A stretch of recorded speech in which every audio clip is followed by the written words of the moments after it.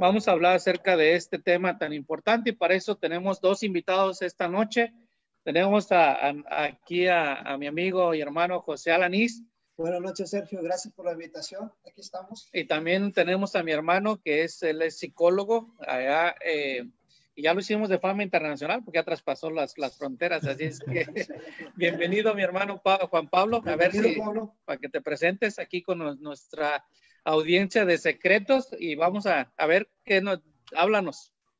Gracias, gracias, buenas noches a todos y esperemos pues que en esta ocasión que, estoy de invitado pues les pueda aportar algo, ¿no? Para el tema que, están llevando a cabo. Gracias por, por esta oportunidad. Aquí ya está Lourdes Cázares, dice buenas noches, bendiciones. Hermana, aquí anda perdido su esposo que no encuentra el tema. Aquí vamos a, lo vamos a compartir. Así que, José, ¿cómo ves? Si leemos nuestro versículo, nuestra encabezado, la cita bíblica, tenemos una oración para comenzar de lleno con nuestro, nuestro programa, porque queremos sacarle a este invitado eh, esa hora o lo que vamos, eh, queremos sacarle lo más que podamos para poder a nuestros hermanos familiares y amigos que nos están viendo a través de Facebook, que puedan ellos eh, tener ese, ese conocimiento o esa, eh, ¿cómo le podríamos decir? Terapia, teoría para que puedan salir de ese eh, dolor por el que están pasando. Pablo. Pues sí, le, le, podríamos llamar este conocimiento, compartir experiencias, experiencia práctica también y pues es eso, ¿no? Yo creo que el conocimiento pues tiene que ver con, con compartir para que los demás conozcan, aprendan, enseñen, etcétera. Entonces yo creo que, que sí va a ser bastante productivo. Perfecto, y aquí tenemos otros saludos, dice Juan Antonio Tavares López. Buenas noches, tíos. Juanito, Juan López, buenas noches a todos, saludos, buenas noches, muchachones. Así que vamos entonces a, leer nuestra, nuestra lectura bíblica y vamos a tener una oración, José. ¿Te parece? ¿Qué quiere hacer primero? La lectura bíblica. Ok, perfecto, dale pues. Esa la encontramos en el libro de Éxodo, capítulo 5, versos 22 y 23. Perfecto. ¿Qué dice? Dice así la palabra del Señor. Entonces Moisés se volvió a Jehová y dijo, Señor, ¿por qué afliges a este pueblo? ¿Para, que me, ¿Para qué me enviaste? ¿Por qué desde que yo vine a Faraón para hablarle en tu nombre, ha afligido a este pueblo y tú no has, tú no has librado a tu pueblo? Bueno, eh, para aquellos que no saben el, contexto de, este, de estos pasajes, de esta cita bíblica, el pueblo de Israel estuvo esclavizado en Egipto por 400 años. Entonces, eh, ellos eh, tú sabes que cuando hay una esclavitud no es de opcional de que tú quieras hacerlo, no, los forzaban a hacerlo. Entonces, cuando llegó el tiempo de ser liberados, eh, Dios mandó, a Moisés para que cumpliera ese papel, pero vemos que cuando él quería liberarlos, eh, este faraón se empeñaba en hacer algo diferente y los molestaba, los golpeaba, les daba más cargas a punto de que ellos casi desisten de salir de, de, Egipto. Así es que ese es el contexto, eso lo, tú lo puedes leer en el capítulo de Éxodo, el, todo capítulo, el libro de Éxodo, ahí vas a encontrar algo de esto. Entonces vamos a tener una oración, José. Les invitamos a ustedes que nos están mirando a que puedan con nosotros inclinar el rostro para tener una oración y entrar de, de, lleno a nuestro tema de esta noche, que es de suma, suma importancia. José, pues vamos a orar. Padre nuestro que estás en los cielos, santificado sea tu nombre, Señor, en esta tarde y anoche, Señor. Te damos gracias, Señor, porque nos has permitido nuevamente conectarnos a la plataforma, Señor. Y te pedimos, Señor, nos bendigas a los que vamos a compartir este tema, Señor, y, y también bendigas a las personas que están conectados ahora a través de estas plataformas, de sus equipos electrónicos o las personas que se habrán de conectar durante este programa, Señor. Te pedimos que este programa, Señor, sea de gran bendición para cada uno de nosotros y para cada una de las personas que lo estarán escuchando, Señor. Te pedimos en esta noche, te quedes con nosotros, Señor, nos acompañes durante este programa. Te lo pedimos, Señor, en el bendito nombre de Cristo Jesús. Amén. Así que vamos a entrar con nuestro tema entonces. Vemos que en esta, en esta noche vamos a hablar acerca del dolor y el sufrimiento. Y desafortunadamente este es un año donde yo creo que hay muy pocas familias que son exentas de estas cosas, de que alguien sufrió el fallecimiento de algún familiar o quizás está teniendo un, un, un dolor por alguna, no tiene que ser una pérdida de algún ser querido, pero quizás de un empleo o quizás de la salud o quizás eh, ha perdido su fe. Entonces vamos a llevar, a, vamos a ir hacia ese, hacia ese, ese punto. Eh, dice aquí para la para introducción, dice, Moisés tenía un gran problema. Por mandato de Dios, Moisés había ido a Egipto con el propósito de liberar al pueblo, pero en vez de liberación, ellos tenían más sufrimiento. La reacción de los israelitas es comprensible. Cuanto ah, cuando sufrimos, queremos saber el por qué y culpamos a otros en vez de buscar la solución. Pablo, ¿qué nos podrías hablar de, de, esto? Eh, es es cierto que todos queremos saber la causa del problema, pero ¿por qué tendemos muchos de nosotros a culpar a alguien más por lo que me está pasando a mí? Fíjate que esta pregunta que haces es, es bastante interesante y se puede profundizar muchísimo en ello. Y, y, para eso me voy a remitir a lo que dijiste inicialmente. Y te comento dos cosas. Y aquí la, la primera pregunta sería, pues, ¿por qué sufrimos? Y aquí eh, te puedo dar tres respuestas muy generales. Una de ellas es, eh, sufrimos por algo que no tengo y deseo. Y ahí pueden entrar muchísimas cosas, dinero, un trabajo, un lugar, etcétera, ¿no? La segunda cosa por la que sufrimos es porque algo estoy perdiendo. Y aquí sí, ya, ya guarda relación con, con, la segunda pregunta que realizaste, con estas personas que estamos perdiendo actualmente, sentimos e, ese, ese sufrimiento. ¿Y qué pasaría el día de mañana si? Y entonces nos empezamos a imaginar cosas. Y una tercera eh, cosa por la que sufrimos es porque ya es tarde, ya no pudimos rescatar, ya no pudimos hacer. Y, y aquí justo con lo que mencionabas, ¿no? Esta diferencia entre dolor y sufrimiento. Cuando hablamos de, sufrimiento, eh, está mucho esta pregunta de los porqués. Está el por qué ya no está, por qué se fue, por qué no le dije oportunamente, por qué no pude eh, despedirme, por qué no aproveché el tiempo. Y, y, si te fijas, ninguna de estas respuestas nos va a dejar satisfechos. Y es por eso que llegamos a esta parte del sufrimiento. Nos preguntamos el por qué, pero ninguna respuesta me va a dejar. Sin embargo, sucede con el dolor que cuando yo me pregunto el por qué, ya hay una pérdida real, ya hay algo muy, muy sentido. ¿Sí? Entonces, aquí ya cuando enfrentamos el dolor es porque ya algo ocurrió y ya no estoy preguntándome el por qué, sino que me quedo ya sin preguntas. Me doy la explicación a mí mismo, sé qué es lo que sucedió y continúo adelante con, pena, con pesar, etcétera, pero continúo. Y en el sufrimiento no, en el sufrimiento es como un estar redundando, como un estar anclándome en estas preguntas que, bien mencionaste hace un, hace un momento. A ver, José, eh, vemos aquí que cuando sufrimos, dice eh, que muchos de nosotros tendemos a echar ¿Qué es la programación? ¿Qué es lo la, que... las personas eh, culpamos a Dios de lo que sucede, ¿verdad? Es, es un ejemplo, porque la misma desesperación y el sufrimiento te hace buscar eh, un, un porqué para, me imagino yo que para tratar de solucionar el sufrimiento. Y por eso es que preguntamos, ¿verdad? ¿Por qué están sucediendo las cosas? ¿Por qué Dios me envía esto? ¿Por qué Dios me hace sufrir tanto? ¿verdad? Pero pienso yo que es la misma desesperación de la gente, su corazón está apachurrado, ¿verdad? Y lo hace, eh, lo hace, de hecho, hasta culpamos a las personas más cercanas a nosotros por el mismo sufrimiento, ¿verdad?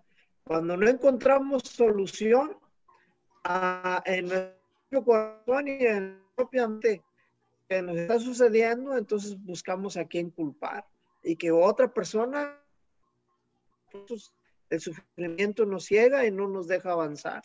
Así es, entonces en nuestro día de vivir nosotros tenemos problemas. Así A veces puede ser eh, bueno, si lo ponemos en el contexto con el que estamos hablando acerca del pueblo de Israel, dice que cuando ellos salieron del, pueblo de, eh, cuando se esperado 30 años en el... Y infinidad de problemas. Y tenía muchos problemas, y yo creo que quizás los problemas los vamos a tener quizás de una forma diferente, porque cuando ellos estaban en el, en el desierto, ellos tenían falta de, de agua, falta De, de comida, mucho calor. Eh, sí, entonces quizás no son los problemas que nosotros tenemos ahora, pero podemos tener escasez de ciertas cosas y eso nos trae dolor. Yo creo que a veces eh, estamos hablando de finanzas mira, unas semanas atrás. En, tiempos de, en tiempos de pandemia, ¿te imaginas el sufrimiento para las personas que no estaban acostumbradas a tener tanto encierro, Sergio? ¿Verdad? Este, simplemente los padres que, han, tenido que convivir más tiempo con sus hijos porque no lo hacían anteriormente, ¿verdad? Se mandaban los niños a cuidar y te ibas tú a trabajar, ¿verdad? Ahora para los padres que están trabajando en su hogar, que les permite a poder hacer el trabajo desde su casa y estar compartiendo con los niños, yo, pienso que es algo difícil para ellos, ¿verdad? Mientras se acostumbraban Ahora ya, ya han pasado varios meses, yo pienso que ahora ya está más fácil, ¿verdad? Pero recién sucedió la pandemia, era un poco difícil que estuvieras en casa. Este, yo, el tiempo que estuve, dos meses, este, se me hicieron muy largos porque yo soy una persona que no por lo que, porque yo, yo lo diga, pero siempre soy bien activo, soy bien activo, siempre ando haciendo cosas, preparando esto, preparando lo otro, y no dentro de la casa, y ahora estar dentro de la casa durante dos meses, para mí eso fue un, no sufrimiento, ¿verdad? Pero fue algo difícil. Entonces, aparte, hay mucha gente, la mayoría de la gente en todo el mundo tuvieron que encerrarse por largo tiempo en casa, la mayoría. Ok, perfecto. Entonces hablamos de ese, de ese, de ese, del tercer sufrir eh, encerrado. Sí, pero el estar encerrados trae otras, otro tipo de consecuencias. Por ejemplo, escasez de alimentos. De alimentos, por la falta de trabajo, porque no estás trabajando. Escasez de trabajo, y eso puede traer también un dolor, Pablo. Así es. Sí, sí, y, y, el dolor más grande, pues es cuando ya se pierde, cuando creemos que ya está fuera de, de nuestro alcance. Cuando aquí sucedió mucho en, en Guanajuato, bueno, en México en general, que las personas pues perdieron su empleo, además de, estar encerrados, pues ya no tuvieron empleo, ya este, la economía se fue a pique y, entonces ahí es donde surgen las preguntas, ¿no? ¿Por qué me sucede esto a mí? Eh, si yo este, pues he estado haciendo lo que, lo que tenía que hacer, este, también eh, pues se nos han ido familiares, aunado a lo, a lo que comenta José, este, pero es parte de lo que, ya mencionábamos, ¿no? Eh, es algo que yo no tengo y que deseo, o que tenía y pues ya se y me... ahora no, y ahora no exacto, Exacto. Cierta libertad, ¿eh? cierta libertad. Y, eso nos trae también que empezamos a quejarnos. Ajá. quejarnos unos a los otros, porque no pasa a mí? Nos empezamos a enojar y nos empezamos, yo creo lo más, lo peor de todo es que nos empezamos a preocupar. Y la preocupación te, va a traer consecuencias no solamente físicas, sino también mentales, ¿no? Mentales y espirituales. Espirituales. Entonces. Porque dice el autor, el autor del libro dice que después de estar culpando a Dios, se nos olvida, se nos olvida todo lo que Dios ha hecho por nosotros, ¿verdad? Porque el hecho de que estamos encerrados, Dios nos está protegiendo de la enfermedad. ¿verdad? De alguna manera el Señor nos ha mandado a encerrarnos para que nosotros no quedemos contagiados, ¿verdad? Eso es una ayuda. Pero lo más importante, el autor le llama a esto amnesia espiritual.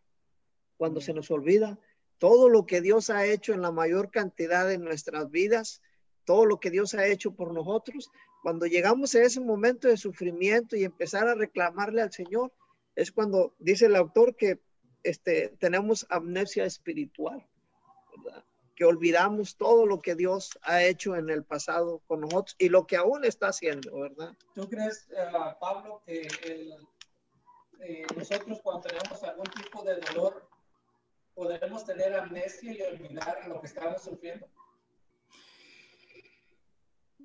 Mm, no, no necesariamente. Yo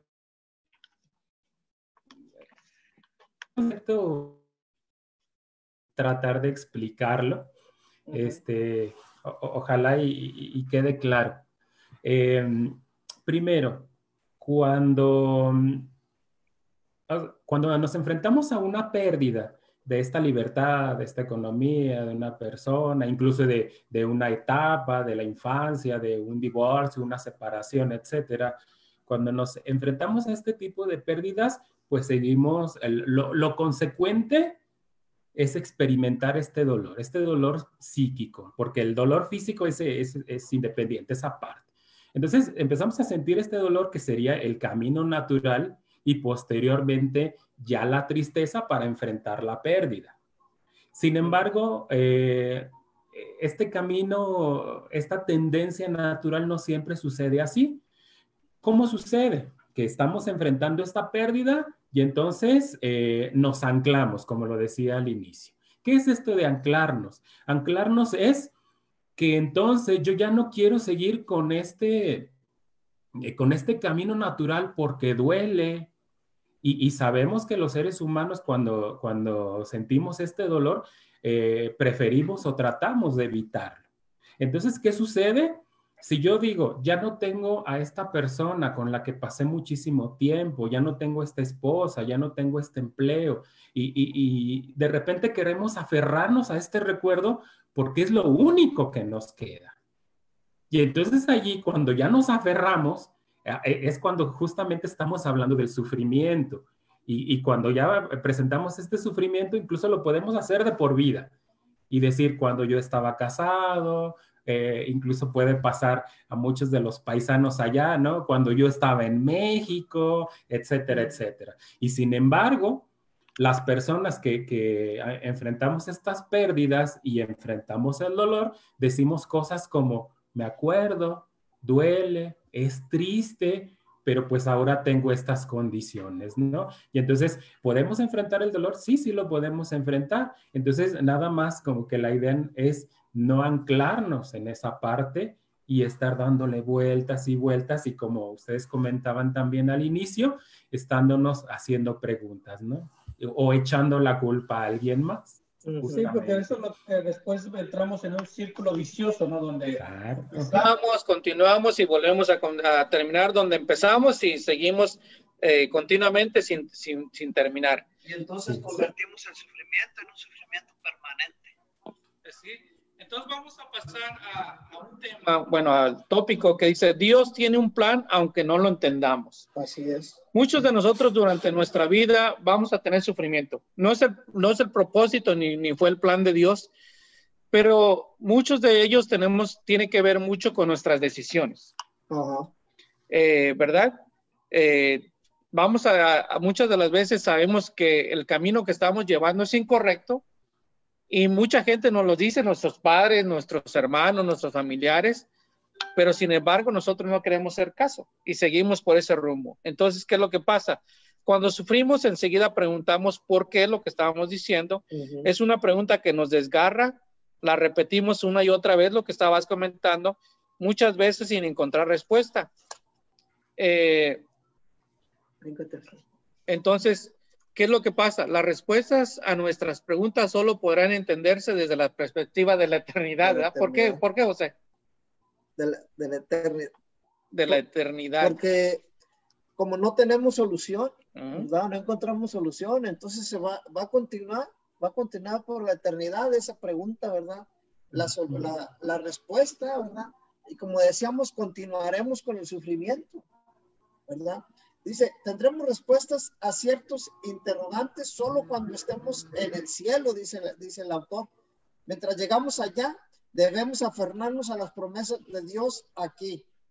Dios nos, será, Dios está obligado a darnos respuestas porque ya proveyó la solución y venció a la muerte, ya conquistó la tumba.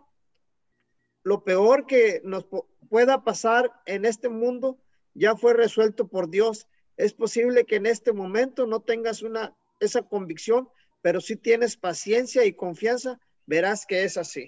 Entonces ya estamos pasando a otro término. Ahora estamos pasando del dolor a un sufrimiento de una pérdida de una de un ser querido, de un amigo, de alguien, un compañero de trabajo que quizás lo quisimos mucho y entramos en ese ámbito.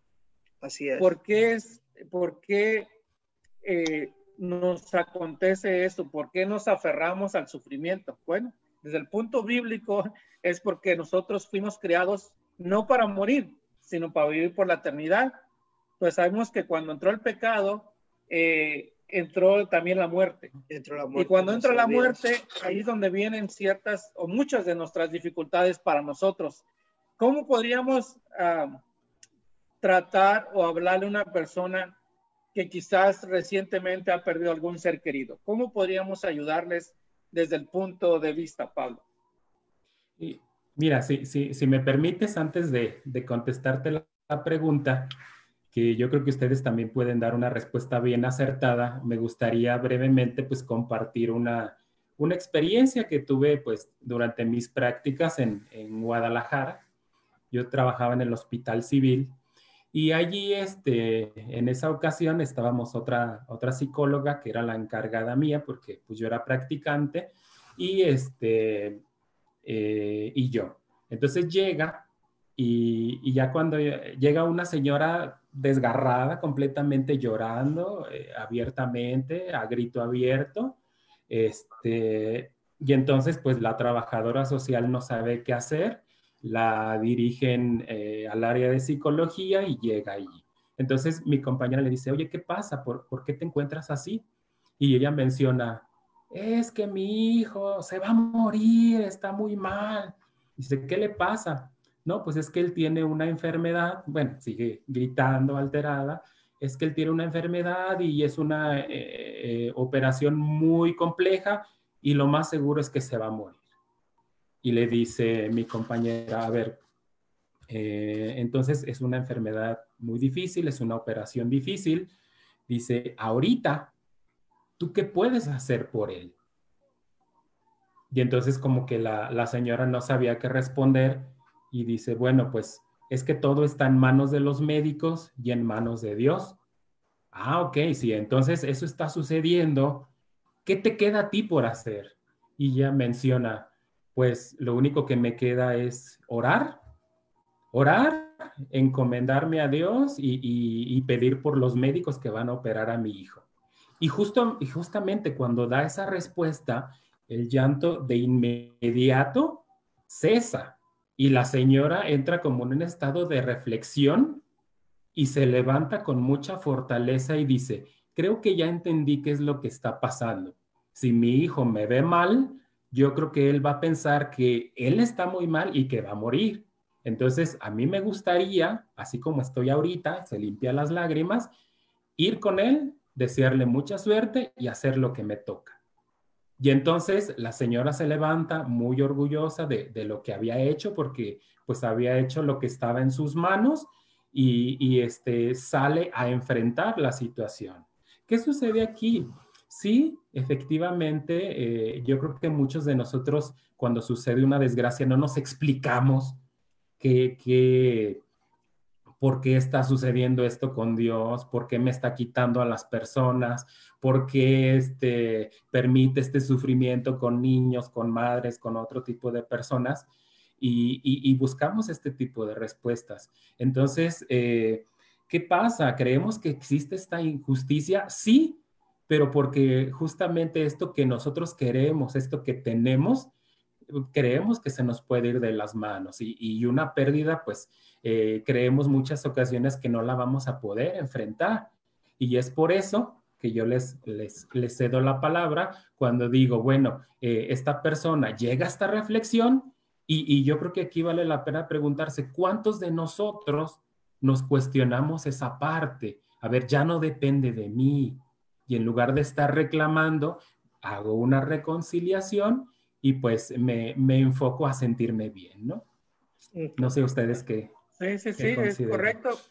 Eh, y eso es lo que estamos, queremos verlo de esta forma, porque muchos de nosotros eh, podemos ser muy poco en la cuestión de que alguien esté enfermo, ¿no? Porque en primer lugar no somos médicos y aunque fuéramos médicos hay ciertas limitaciones para, aún para los médicos, ¿no? Entonces, ¿qué es lo que pasa con nosotros? ¿Qué, qué tenemos que hacer? aferrarnos a las promesas de Dios. Así es. Así, es que tú, que nos, tú que nos estás mirando y quieres comentar algo de lo que te ha pasado o cómo has superado algún problema, quizás puedas compartirlo con nosotros, porque este es un programa de aprendizaje, no solamente que nosotros estamos impartiendo el tema, sino que podemos aprender también de ti, porque muchas de las veces nosotros ah, traemos simplemente la teoría, ¿verdad? Pero la práctica quizás no la hemos tenido, o que, o que a lo mejor sí. Porque este es un programa de aprendizaje, no solamente que nosotros estamos... Alguno que... Oh. Entonces, eh, vamos, eh, vemos de esa cosa, dice, mientras llegamos allá debemos aferrarnos a las promesas de Dios aquí. Dios no está obligado a darnos respuestas porque ya proveyó la solución, ya venció a la muerte. Lo que yo noté lo que yo noté en el comentario de Pablo ahorita es que indudablemente el tener confianza en Dios y en la oración, ¿verdad? Y confiar en que el Señor tiene el control de todo, eso da fortaleza a las personas. Claro que sí. ¿Me entiendes? Automáticamente ella al saber que no tenía nada que hacer más que orar, ¿verdad? Orar al Señor, entonces eso le dio a ella fortaleza. Cuando tú dejas tus cargas y tus preocupaciones en manos de alguien que va a poderlas resolver, entonces vas a que quedas tranquilo, quedas tranquilo, confías plenamente en que Dios es el que va a resolver la situación. O si no, la va a resolver a, como sea el deseo de Dios, ¿verdad? Pero tú vas a estar tranquilo. Sea bien, te convenga o no te convenga, tú vas a estar tranquilo esperando, el, poniendo la confianza en el Señor.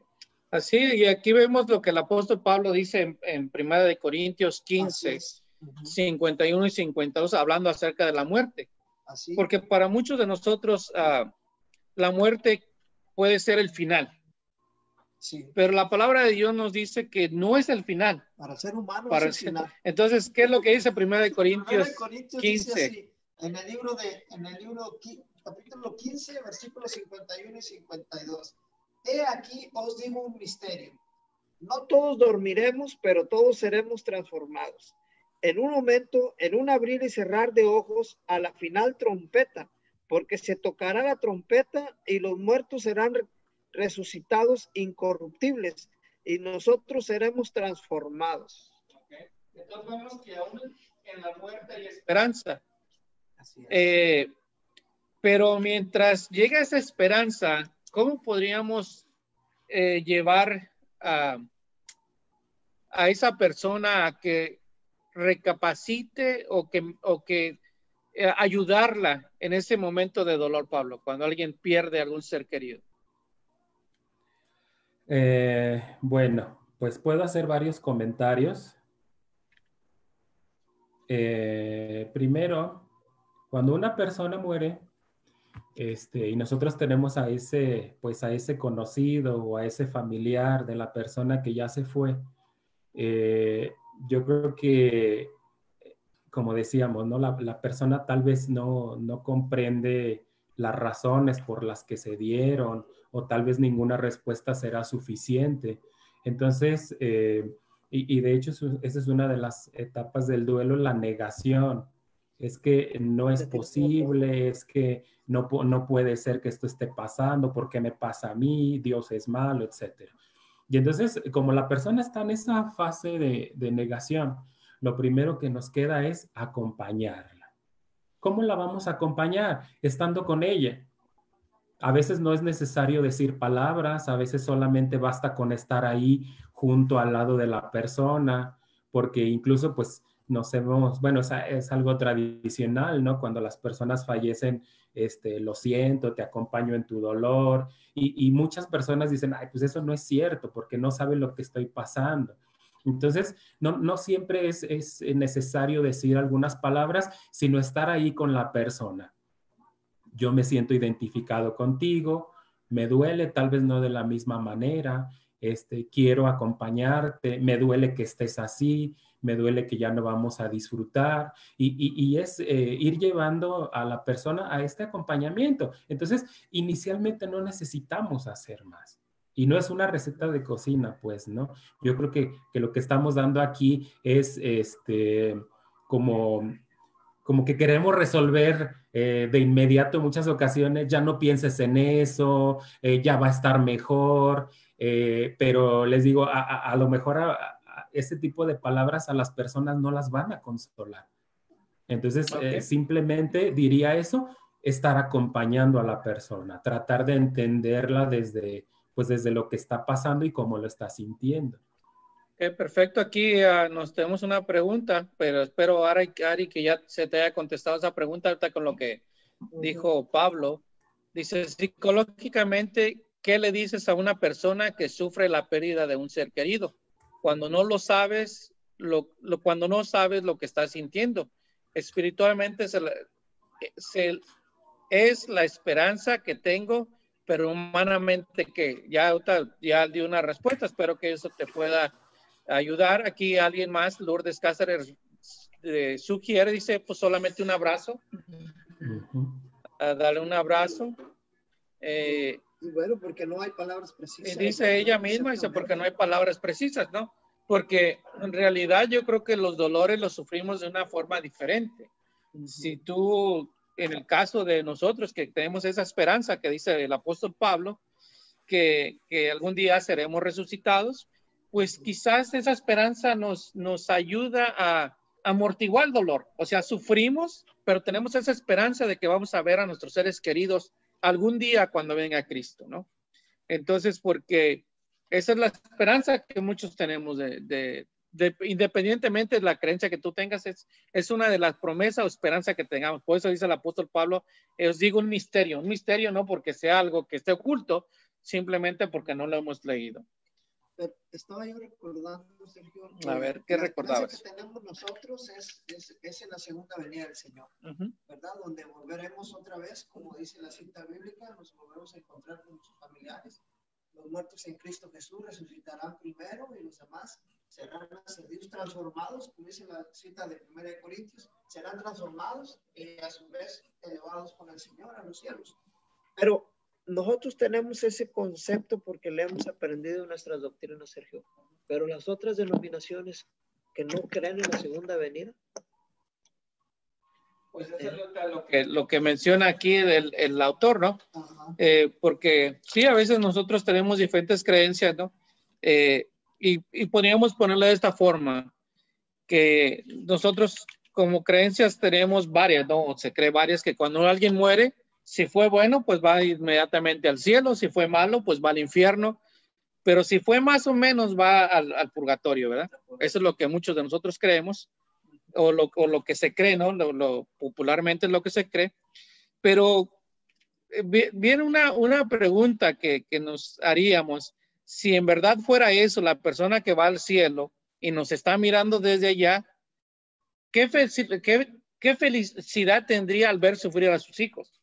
Sí, por su pérdida, ¿verdad? Entonces yo creo que no sería mucha felicidad de parte del que se murió. no sería un Dios muy bueno ese, no. que te recoja para que miras, para que mires a tus familiares sufriendo, ¿verdad? Con el dolor por la pérdida del ser querido.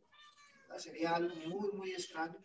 Y bueno, hay, hay el, autor explica ese, ese ejemplo, ¿verdad? Que aunque no, no, para nosotros no es bíblico, ¿verdad? Decir que que te vas a ir al cielo y que si te portaste mal vas a ir al infierno, ¿verdad? Dice que, ¿qué tipo de Dios es ese que quema a las personas por la, por la eternidad? Ese Dios se parece mucho al diablo. Ese no es Dios, no es el Dios de la Biblia. Dios no quema a las personas por la, por la, por la que dice, eternidad, por tres razones. Dice, y da tres razones, ¿eh?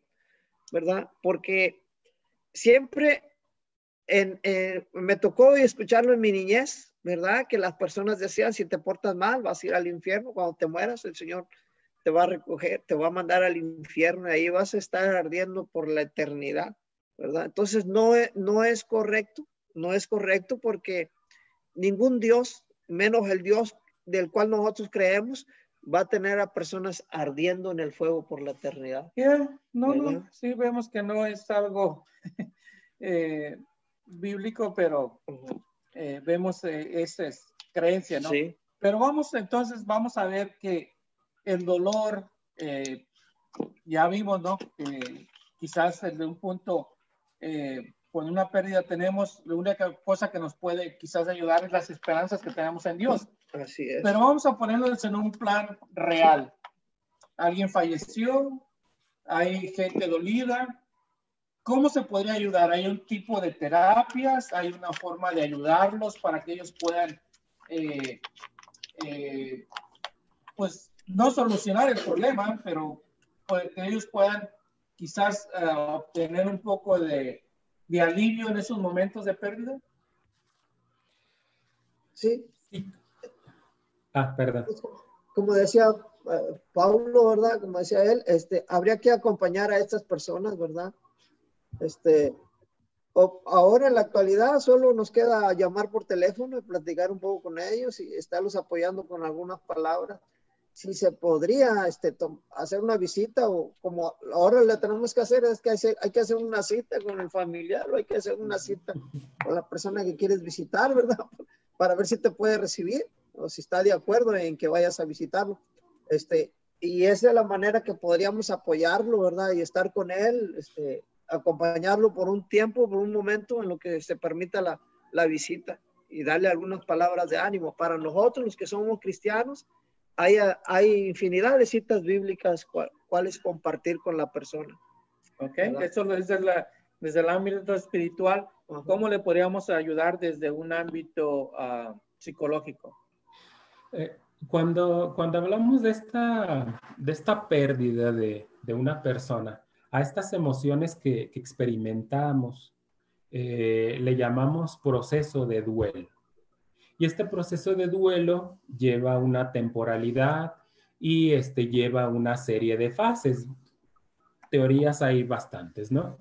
Entonces aquí eh, psicológicamente se habla de un tiempo promedio de seis meses para esta elaboración del duelo normal.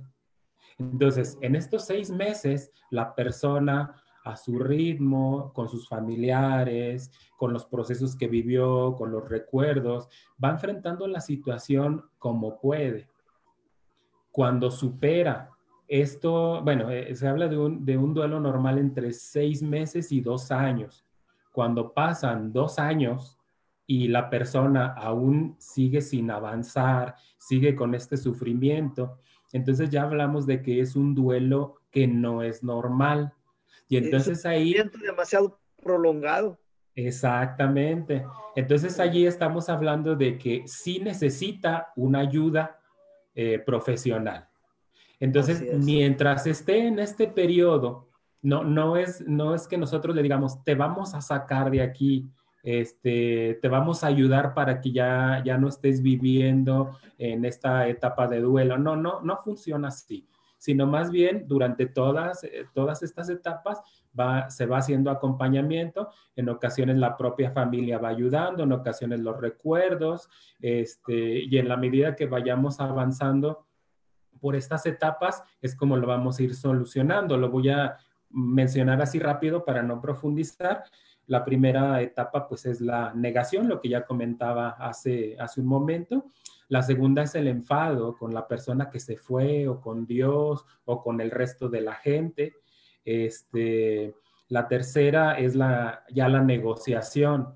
Si tú me permites ya no sentir este dolor, si tú me permites soñar con él, hablar con esa persona, yo te prometo a cambio, etcétera, etcétera. La cuarta, pues, es la, depresión, ya donde entramos como en, esta fase que, que, acompaña la tristeza. Y en esta tristeza que no es una emoción negativa, es una emoción que muchos lo perciben como, estás triste es algo malo, no, no es algo malo, es algo que nos permite encerrarnos en nosotros mismos, ¿para qué? Pues para que lo demás eh, el, mundo exterior ya no nos haga daño. Y entonces nosotros empecemos a recuperarnos, empecemos a, a, captar las, las, cosas que se dieron, estos recuerdos, estas añoranzas, este eh, compartir con los demás, el acercamiento a Dios, etcétera. Y por último, pues esta aceptación.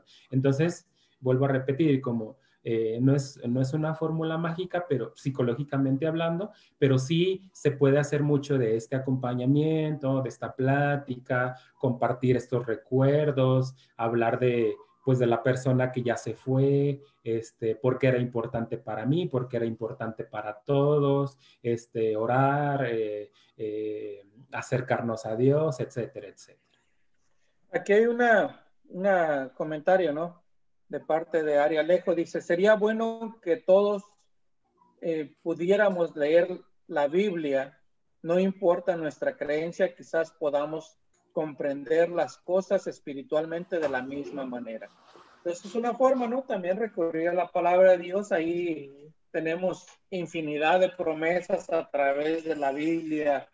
Eh, y como les digo, a veces nosotros como seres, como, como, como cristianos, vemos que la muerte no es el final. Eh, porque igual, todos aquellos que, tenemos una creencia eh, religiosa, sabemos que la muerte eh, no es el final, simplemente es, es, un hasta luego, porque no era parte del plan de Dios. Así es que, uh, ¿ibas a comentar algo? Ah, sí, perdón, si me, si me permites un, momentito más. Este, nada más hacer una, una eh, pues como una recapitulación, no, no es una recapitulación, bueno, un comentario. Sí, eh, sucede que cuando las personas fallecen, muchos de los familiares no se atreven a llorar, por, por mencionar un ejemplo, ¿no? Dicen, es que me tengo que mantener fuerte, es que eh, los demás no deben de ver que me caigo, yo soy el, el sostén de, de, otra familia, o no me quiero mostrar débil. Y, y, lo que sucede con esto es que eh, muchas veces nosotros nos privamos, nos privamos de hablar de, pues, de esta pena, de este dolor, eh, y, lo que sucede a la larga, pues es que no enfrentamos este duelo. Tú, tú mencionabas o tú preguntabas, ¿cómo podemos enfrentar, cómo podemos ayudar al otro? Pues también puede ser así, invitándolo a que platique acerca de lo que le duele, invitándolo a que nos hable de, de ese sufrimiento que tiene, de pues hablar de lo, de lo doloroso, de lo, de lo difícil que la está pasando, porque eso le va a llevar precisamente a que caiga en la cuenta de lo que está doliendo y a veces es como destrabar esa parte que no queremos que se vaya. ¿Cómo que le diríamos a una persona que ha perdido un ser querido y dice la persona, yo ya estoy muerto en vida? Cuando tiene ya ese pensamiento de que por mucho amaba al ser que se murió, él ya se considera que está muerto en vida. Pues mira, e, es una, yo, yo me atrevería a pensar que es una reacción momentánea por ese dolor tan grande, por esa pena tan grande que se está sintiendo en ese momento y, que se cree que ya no hay nada más allá afuera. Y, te lo contesto con un ejemplo. Eh, yo lo he escuchado mucho, que cuando alguien cercano fallece dice, eh, e, es esta pregunta justamente, y la respuesta es, bueno, señora, sí le falleció su hijo, pero tiene tres hijos más.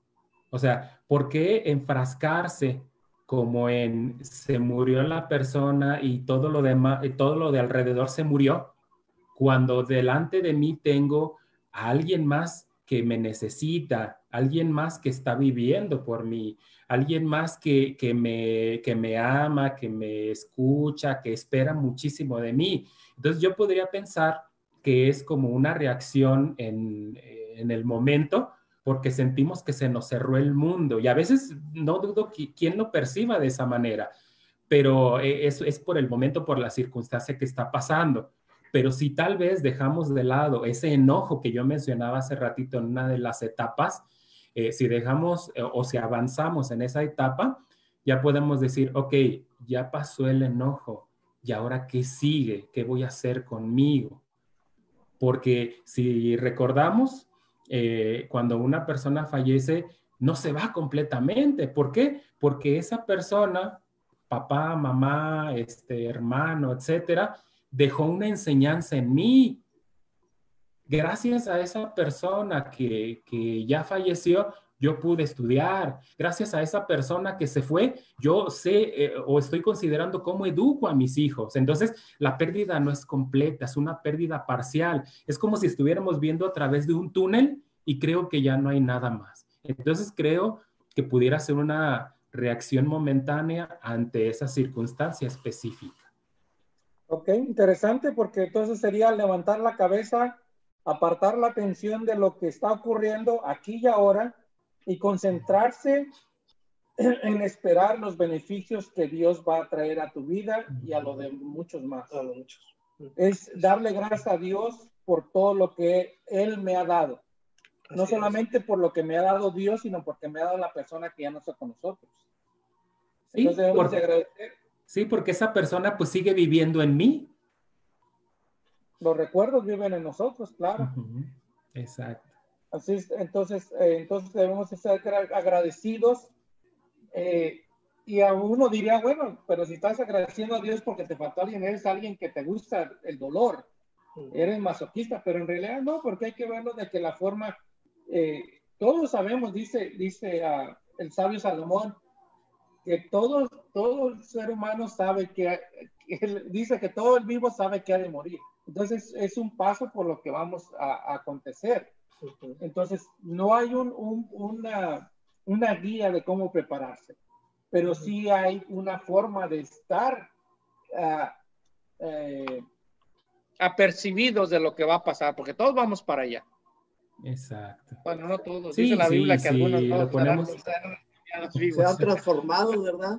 Pero sí, la mayoría de nosotros vamos hacia ese, hacia ese camino, ¿verdad? El, el autor, el autor del, del, tema dice que a pesar de nuestro dolor, Dios tiene un plan. Mira, el plan, el ejemplo que él pone es el plan de José, que fue vendido a los esclavos, ¿verdad?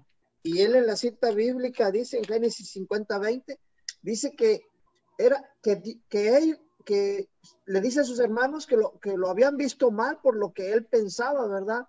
Pero que él estaba contento porque Dios tenía un plan, el cual era que él ayudara a los egipcios en aquel entonces para que pasaran aquella hambruna, ¿verdad? Y que por la, bendición que Dios le dio, él pudo administrar y pudo hacer que todas esas personas pudieran tener alimento durante esos siete años de hambruna. Entonces, el Señor ya había preparado las cosas para que sucedieran así, a pesar de que José sufrió. Sufrió porque fue vendido como esclavo, sufrió porque fue encerrado mucho tiempo en la cárcel, ¿verdad? Por otras cosas que sucedieron, pero nunca, nunca dejó de sufrir, ¿verdad? Pero siempre tuvo la confianza, no renegó de Dios y tuvo la confianza de pasar todo eso y creer en que el Señor tenía un plan para él, ¿verdad? Ese es el ejemplo que pone el autor aquí. Y es las cosas no suceden porque, eh, porque sí, el Señor siempre tiene un plan para nosotros, ¿verdad? Aunque sea doloroso el perder a un familiar, aunque lo hayamos querido mucho, el Señor siempre ha tenido. Y un ejemplo es este, mira, si esa persona te dio mucho aprendizaje en tiempo de su vida, ¿verdad? Te enseñó muchas cosas, si, fue tu papá, si fue tu mamá o si fue algún conocido simplemente, pero que te dio mucho conocimiento, entonces el Señor ya tenía un plan para ti, ¿verdad? Un plan para Él era que te enseñara las cosas que tú ibas a necesitar para seguir adelante, ¿verdad? Desafortunadamente nosotros como seres humanos nos tiene que doler la pérdida de un ser querido, nos tiene que doler la pérdida hasta de, hasta de una persona que no conocemos, solamente saber el sufrimiento que van a tener los familiares al perderlo a él, eso nos, nos entristece a nosotros y nos pone en un, con un corazón oprimido, ¿verdad? Así es. Entonces vamos a entrar a nuestro último, uh, tópico. Dios tiene un plan, aunque yo no esté de acuerdo con él. Exactamente. Muchos de nosotros estamos preocupados antes de que ocurran las cosas, ya estamos nosotros con la incertidumbre, con la preocupación de lo que va a acontecer. ¿Verdad? y ya todavía no llegamos a la situación y ya estamos nosotros pensando eh, eh, en, lo, que, como si ya estuviera ahí la Azul. Entonces, muchos de nosotros estamos estresados ante la certidumbre de, que, de lo que todavía no llega. Entonces, uh, ¿cómo nosotros como padres y seres humanos, yo rechazo la muerte? Ojalá pudiera volver atrás, cambiar las cosas, todos los acontecimientos que llevaron a, este punto, ¿no? Como seres humanos a veces así estamos, ¿no? Cuando quisiéramos retroceder el tiempo y llevarlo al punto de que pudiéramos cambiar las cosas. Pero desafortunadamente eso nomás pasa en las películas. En la realidad no es así. Entonces nosotros, ¿cómo podremos ah, reaccionar o cómo podríamos ayudar a alguien eh, cuando eh, ha pasado la cosa y quisiera cambiar las cosas? Antes de que llegara a eso, tengo algunos comentarios aquí de las personas que nos están viendo. Sí. Dice uno de ellos, ¿por qué el ser humano se alegra cuando gana en algo o le, o le nace un bebé, pero cuando perdemos algo o alguien sufrimos? Una pregunta. Eh, dice Yasmín Hernández también, exactamente ese sería mi consejo mío para una persona, hacer entender de manera prudente a la persona primeramente que tenemos a un Dios al cual le pedimos fortaleza y sobre todo fuerza, uh, para superar la pérdida. Dar un abrazo y decir que hay más hijos que la que la necesitan y sobre todo hablarles de las promesas de un Dios viviente. Amén. Aquí Humberto Rodríguez manda saludos, saludos Humberto. Saludos Humberto. Así es que, uh, ¿por qué es lo que pasa? ¿Por qué cuando estamos en el problema queremos cambiar las cosas? O quisiéramos, sabemos que es imposible, pero ¿por qué se nos vienen esos pensamientos a nuestra cabeza? Eh, Ahorita retomo parte de los comentarios que ya, que ya hacían hace, hace unos momentos. Este, yo comentaba que, que, la vida pues va por etapas, ¿no? Y, y, añoramos, por ejemplo, esta infancia, los recuerdos, los juegos, el no tener que esforzarme, el que me daban todo. Cuando llegas a la infancia, pues igual extrañas el, este, eh, lo infantil, cuando llegas a la edad adulta dices, híjole, es que me hubiera gustado eh, conocer más personas, salir más, eh, experimentar otro tipo de cosas. Estamos hablando de, etapas que se nos van a ir presentando en, en, la vida y en cada una de estas etapas vamos a perder personas, amigos, este, conocidos, nos cambiamos de casa, nos cambiamos de trabajo, nos cambiamos de país, tengo una pareja, ahora tengo otra, etcétera, etcétera. Entonces, eh, si analizamos críticamente, pues durante toda la vida vamos a estar ganando y perdiendo amistades, personas, creencias, ideas, sueños eh, y más, ¿no? Eh, y ahora sí entro a la, a la pregunta. cuando, una, cuando una persona, cuando perdemos a una persona, ¿por qué nos duele tanto? Eh, y no antes. Y, aquí retomo también la, el tema central de, de, este, de este tema, ¿no? El sufrimiento. Y yo buscaba, pues, ¿cuál es lo opuesto de sufrir? Y, y la palabra a la que yo llegaba, ajá, la felicidad o el gozo o la alegría. Y, y, y entonces, bueno, si, si, estamos hablando o si estamos considerando el sufrimiento, ¿por qué no considerar lo opuesto? Yo, yo, al igual que ustedes, me ponía a pensar en estos tiempos de, de pandemia, que hay mucha gente que no se cuida, que no toma la distancia, que no este, usa cubrebocas, etcétera, etcétera. Ah, están eh, haciendo lo contrario. sí, exactamente. y, y, y, mi, y, mi comentario sería este, ¿no? De que, bueno, si yo quiero evitar el sufrimiento, pues tendría que dejar de amar. O sea, yo sufro porque amo a una persona, porque quiero a alguien. Eh, y, dejar de amar pues sería pues prácticamente imposible, nos convertiríamos en, en piedras, ¿no?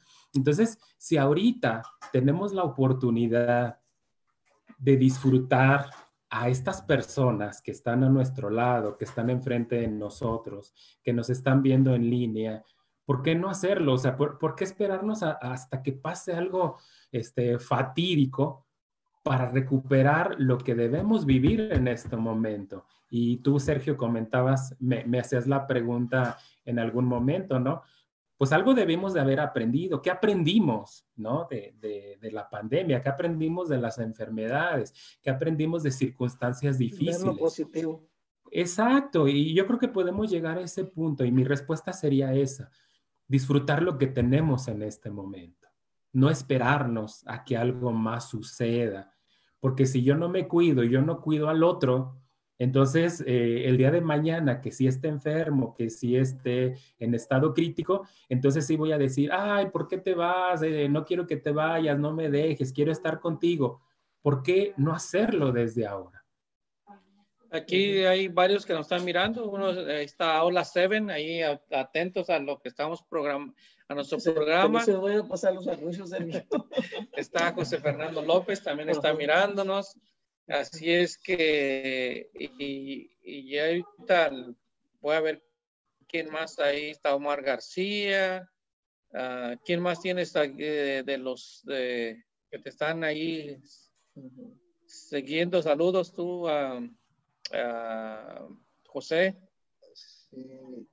¿tienes alguien que está ahí? Porque eh, estamos, pero estamos bien aquí metidos en las redes sociales. Hernández, saludos. Ok, perfecto. Aquí tenemos en los que nos han mandado eh, me gusta, corazoncitos y de esos de, de, cariño. Está José, José Fernando López Gómez, está Roselia Ramírez, Ari Alejo, Pati Alejo, Lourdes Cázares, Elba Cruz, Diego López, Mercedes Ponce. Saludos, hermana Mercedes, hasta, hasta Honduras nos están mirando, así es que un saludo hasta Honduras.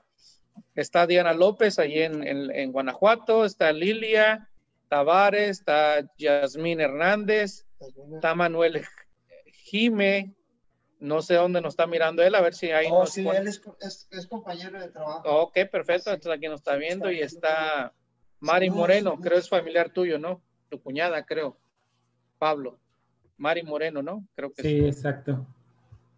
Así es que hay saludos para todos ustedes que nos están mirando desde allá. Entonces, bueno, volviendo a lo que estamos dialogando, la clave está en tener confianza, aunque, aunque no tengamos lo que suceda, ¿verdad? Sí. La muerte sucede, también la separación de los seres humanos o los seres queridos, el divorcio, el cáncer, la pérdida de trabajo, muy pocas veces podemos controlar lo que me sucede a mí, ¿verdad?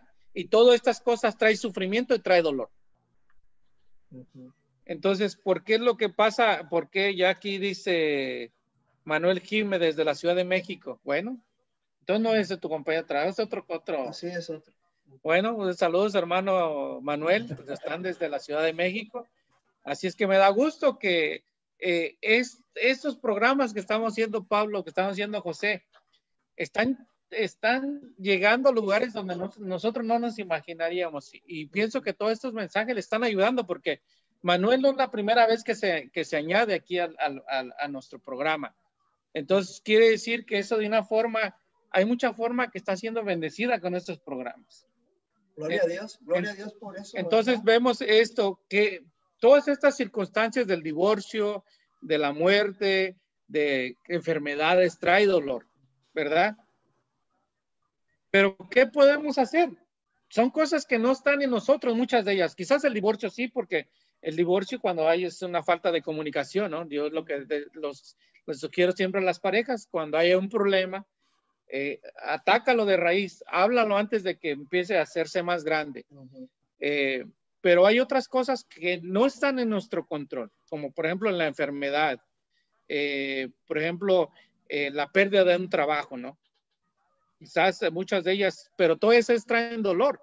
¿Qué podríamos hacer para poder ah, ayudar a estas personas que tienen ese tipo de, de inquietud, no solamente lo que, de lo que me, de lo que estoy pasando, de lo que me va a pasar en el futuro? Fíjate, este, ahorita estábamos leyendo el autor, Sergio, mirando todas las cosas que nos pueden suceder, como este, perder a los familiares o perder a un familiar por, por, alguna enfermedad, ¿verdad? O, este, o cuando te divorcias y todo. Dice que no tenemos el control, nosotros no tenemos el control de muchas cosas que suceden, ¿verdad? Pero de lo que sí tenemos control nosotros, Sergio, es de cómo nosotros reaccionamos a las, a las cosas que nos suceden, ¿verdad? Entonces, para eso es necesario pedirle ayuda a Dios, ¿verdad? Que es el que nos puede dar la tranquilidad y la fortaleza para afrontar todas esas situaciones, ¿verdad? Porque de la manera que tú reacciones es de la manera como te va a ir.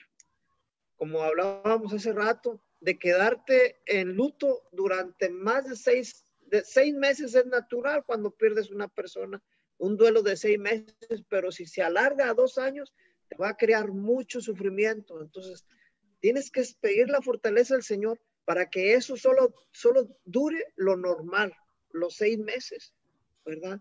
Como decíamos, no, no podías controlar si la persona se muere o no se muere, pero sí puedes controlar cómo reaccionas tú ante esa situación y, y ante todas las situaciones, ¿verdad? Porque eh, te voy a poner un ejemplo.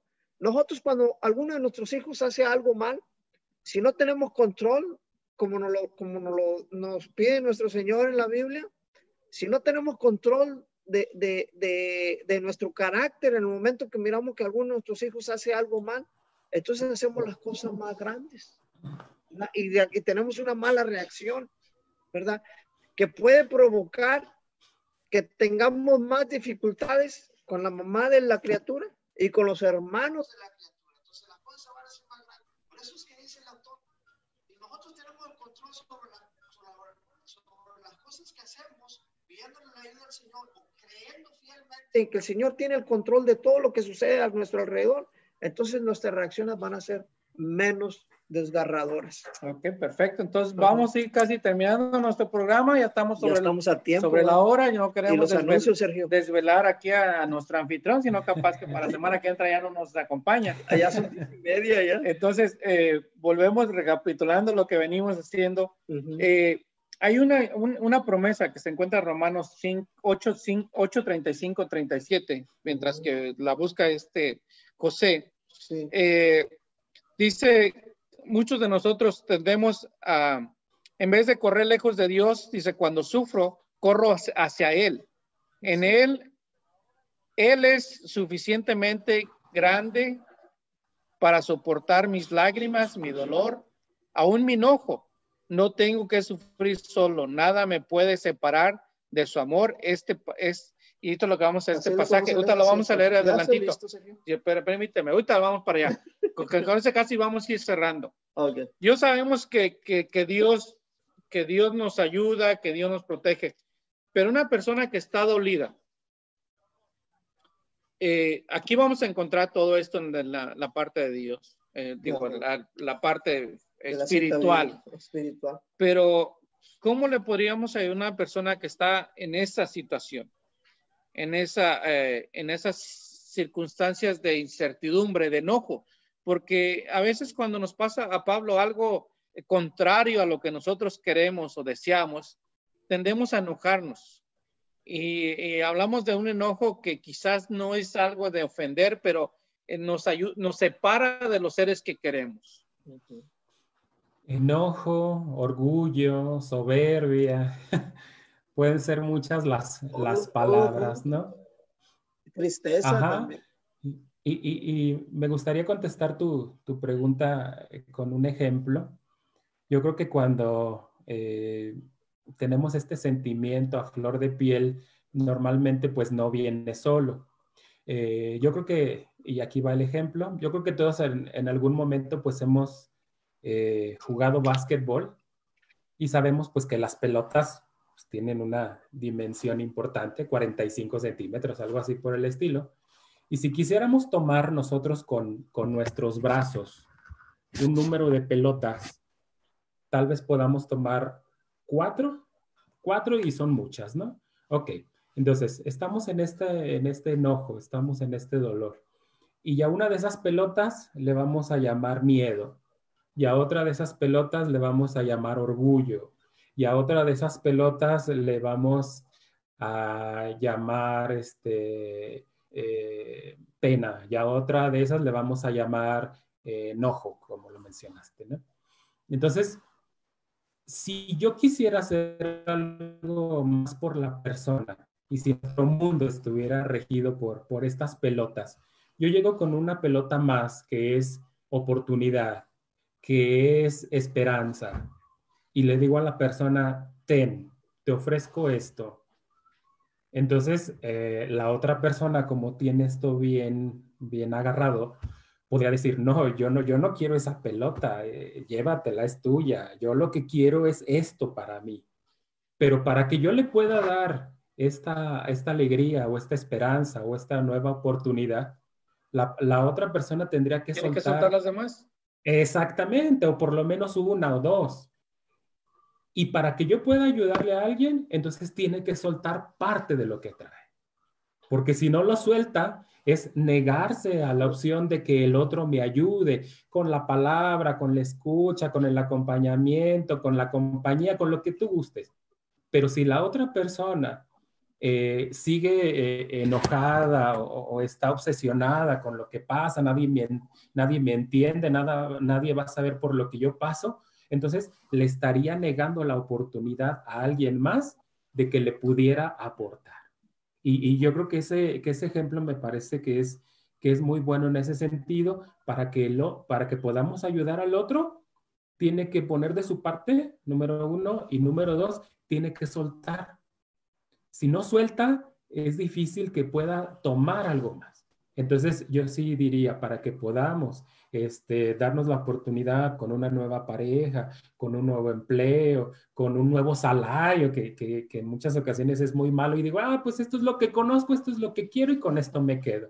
Entonces, tendría que soltar para agarrar algo más. ¿Implica riesgo? Por supuesto que sí, pero también implica una oportunidad. Entonces es ahí donde creo que le, le podemos abonar a, a, las personas que tal vez estén en circunstancias similares. ¿no? Perfecto, entonces aquí volvemos, aquí vamos a leer el pasaje, Ajá. un pensamiento final para ayudar.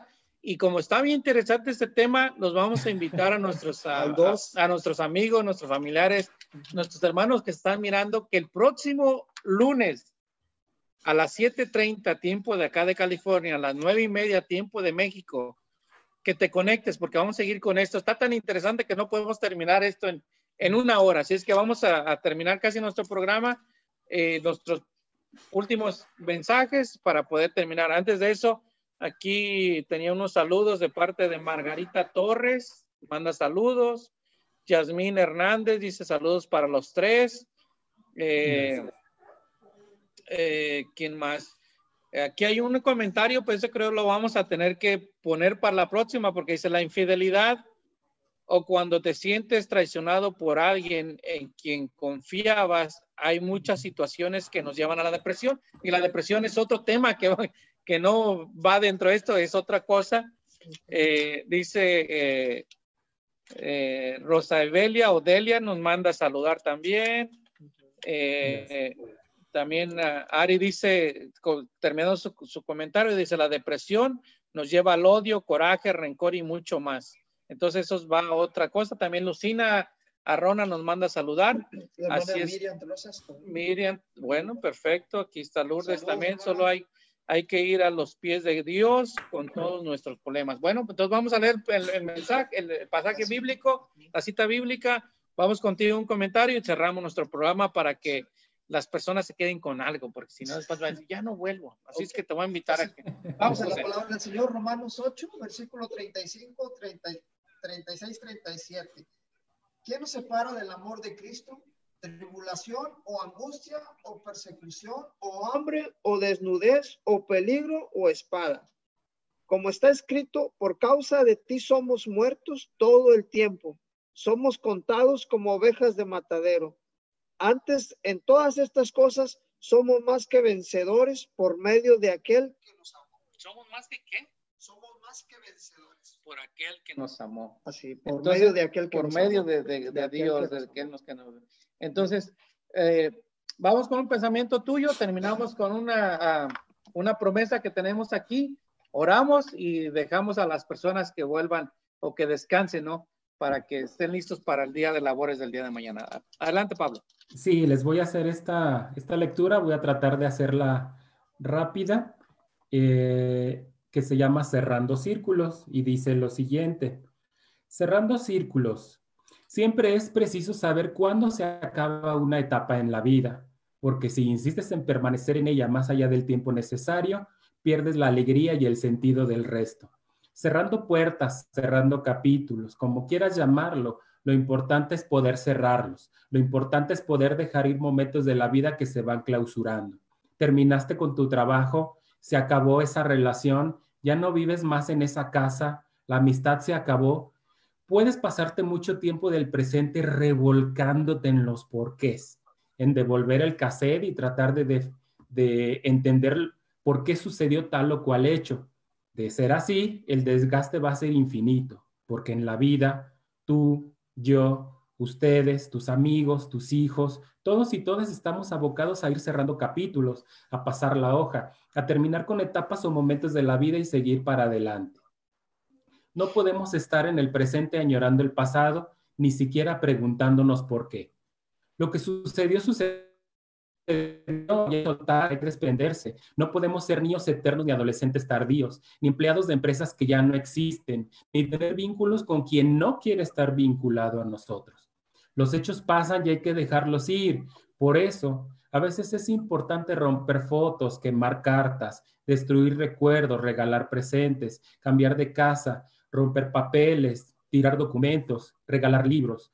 Los cambios externos pueden simbolizar procesos internos de superación, dejar ir, soltar, desprenderse. En la vida, nadie juega con las cartas marcadas y hay que aprender a perder y a ganar. Hay que dejar ir, hay que pasar la hoja, hay que vivir solo lo que tenemos en el presente. El pasado ya se fue, ya se fue. No esperes a que te devuelvan, no esperes a que te reconozcan, no esperes a que alguna vez se, den cuenta de quién eres. Suelta ese resentimiento, el prender tu televisión personal para darle y darle al asunto, porque si no lo haces, lo único que consigues es dañarte mentalmente, envenenarte, amargarte. Recuerda, la vida siempre va para adelante. Porque si andas por la vida dejando puertas abiertas, por si acaso por si acaso vuelvo, por si acaso se fija en mí, por si acaso hay una oportunidad. Nunca podrás desprenderte ni vivir lo de hoy con satisfacción. Noviazgos o amistades que no clausuras, posibilidades de regresar. ¿De regresar a qué? Necesidad de aclaraciones, palabras que no se dijeron, silencios que te invadieron. Si puedes enfrentarlos ya y ahora, hazlo. Si no, déjalo ir, cierra capítulos, dite a ti mismo que no vuelves, pero no por orgullo ni por soberbia, sino porque ya no encajas más allí, en ese lugar, en ese corazón, en esa habitación, en esa casa, en ese escritorio o en ese trabajo. Ya no eres el mismo que, te, que se fue hace dos días, hace tres meses, hace cinco años. Por lo tanto, ya no hay nada que volver. Cierra la puerta, pasa la hoja, cierra el círculo ni tú eres el mismo, ni el entorno al que regresas será igual, porque en la vida nada se queda quieto, nada es estático. Es salud mental, amor por ti mismo, desprenderte de lo que ya no está en tu vida. Recuerda que nada ni nadie es indispensable, ni una persona, ni un lugar, ni un trabajo. Es un proceso de aprender a desprenderse y humanamente se puede lograr porque, repito, Nada ni nadie es indispensable. A veces se convierte en costumbre, apego, necesidad, pero cierra, clausura, tira, oxigena, desprende, sacude, suelta. Hay tantas palabras para significar salud mental y cualquiera que sea la que escojas el día de hoy, te ayudará definitivamente a seguir para adelante con tranquilidad. Esa es la vida, disfrútala. Perfecto. Sí, aquí tenemos, y para terminar con el, el, Salmo 69, versículo 29, está Lucina, manda saludos, a Lourdes Cázares que dice, solo hay que ir a Dios. Está Claudia Rona López, manda saludos a todos. Miriam Terrón, saludos. Está este muchachón Vincent Frausto, él, él es un compañero mío de la secundaria. Y dice él, dice saludos, dice y bendiciones desde León, Guanajuato. Hermano Sergio, gloria a Dios. Dice, no participo mucho para no interrumpir y poner atención. Excelente tema.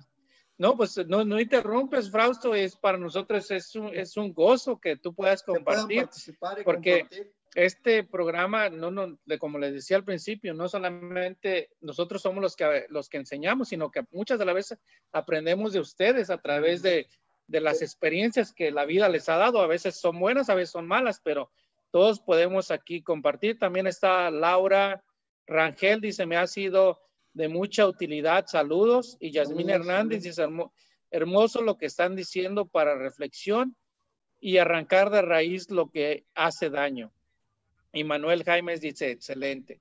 Entonces, ¿qué es lo que dice eh, el Salmo 69, verso 29?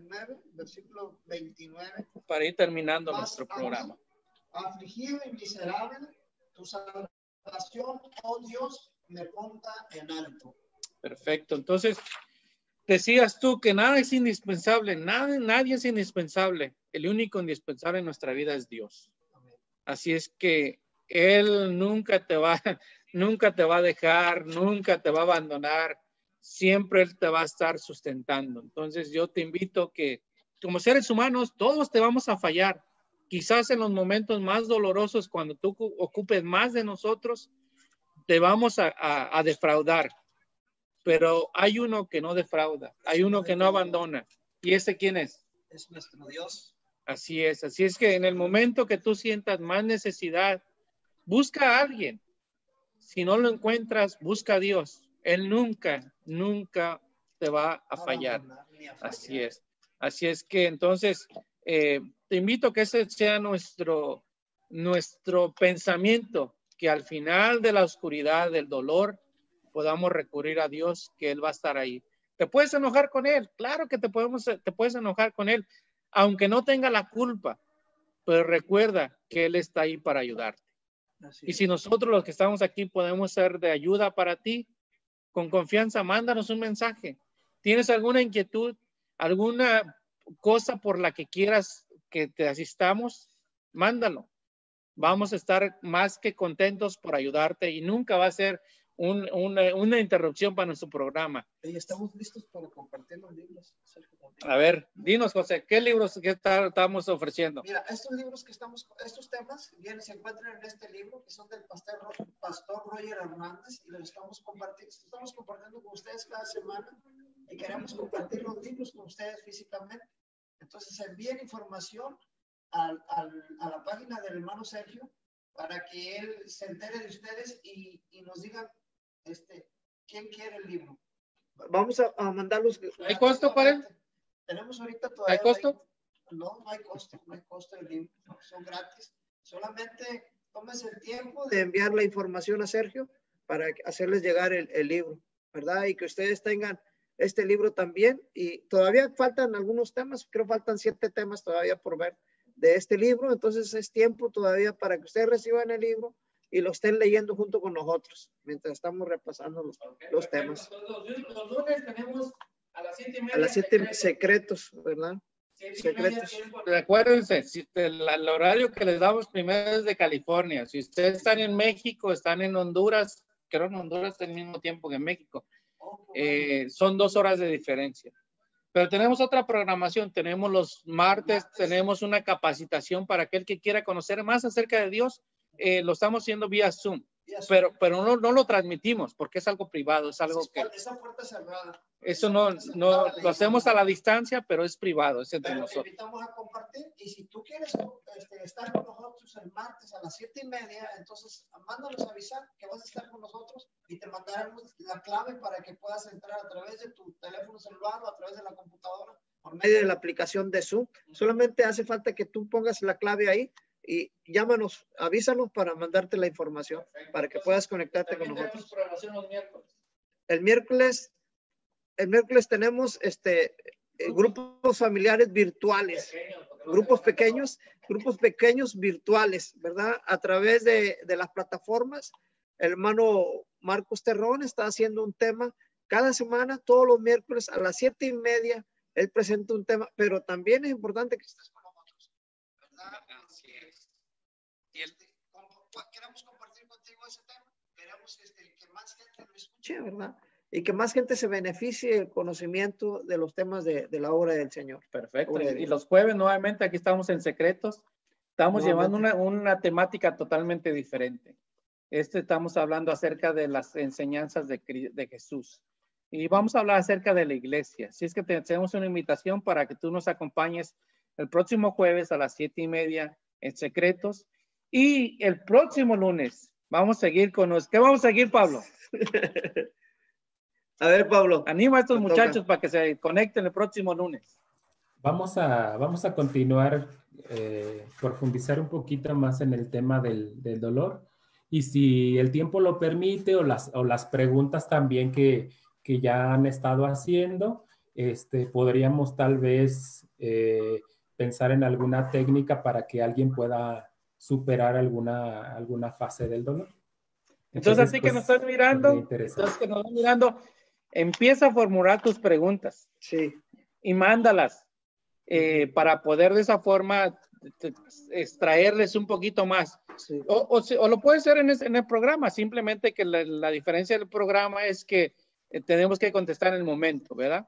Pero si nos lo mandas tú con anticipación, esa inquietud que tú tienes, esa pregunta, podemos con más tiempo verla, sacar quizás de un punto psicológico, de un punto bíblico y quizás de esa forma te pueda ayudar a ti. Es que te invitamos desde ahorita que tú puedas ir haciendo esas preguntas o ir comentando acerca de lo que es el programa. Entonces, vamos con los últimos saludos. Dice uh, la Lourdes Cázares, dice, o oh, Yasmín, dice amén, gloria a Dios.